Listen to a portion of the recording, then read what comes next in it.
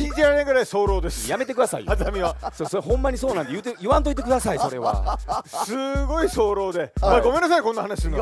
や本物あの都内にある本当にとんでもないよね真っ黒の極厚のゴムを探してる男ですからそうですあの馬の絵の描いたあの極厚のゴムを使ってますダンロップって書いてあった説もありますけどやめてもらっていいいやいや今ね吉本のすごい悪い部分僕もなんか言いい